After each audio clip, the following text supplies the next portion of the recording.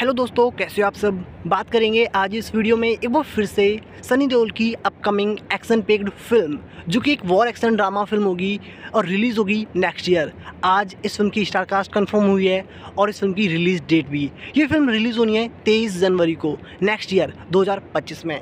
ये भी एक मल्टी स्टारर फ़िल्म होगी, जिसमें कि इस वक्त रिप्लेस किया है आयुष्मान खुराना को वरुण धवन ने। सन्नी पाजी इस फ़िल्म में कंफर्म है और इस फ़िल्म के लिए मोटी फ़ीस वसूल रहे हैं। जी हाँ फॉर द फ़र्स्ट टाइम वो किसी फ़िल्म के लिए 50 करोड़ की रकम वसूल रहे हैं और मेकर्स दे भी रहे हैं। अगर बात करूँ इस फ़िल्म के बजट की तो इस फ़िल्म का बजट है 100 करोड़ प्लस और इस फ़िल्म के जो एक्शन सीक्वेंस होंगे, वो काफ़ी ज़बरदस्त होने वाले हैं। इस फ़िल्म की शूटिंग स्टार्ट हो चुकी है और वन धवन भी इस फ़िल्म का हिस्सा बन चुके हैं। बात करूँ फ़िल्म के कलेक्शन की कि फ़िल्म कितना कलेक्शन कर सकती है? क्या एक्सपेक्टेशन है इस फ़िल्म से? तो बताना चाहूँगा जिस तरह से गदर टू ने अपना एक अलग ही कोहराम मचाया था उसी तरह से गदर टू भी जो कि एक पैट्रियोटिक फ़िल्म है जिसे लेकर ऑडियंस काफ़ी ज़्यादा एक्साइटेड है और यकीन मानिए ये भी गर्दे उड़ाने वाली है बॉक्स ऑफ़िस के पर्दे फाड़ने वाली है।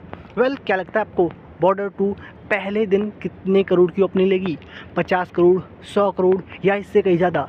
आप क्या अकाउंट में मेंशन कर सकते हो और साथ साथ बताना मत भूलिएगा कि इस फ़िल्म का क्लोजिंग कलेक्शन हज़ार करोड़ के आंकड़े को क्रॉस करेगा या नहीं। क्या ये फ़िल्म गदर टू के रिकॉर्ड्स को ब्रेक करेगी या नहीं?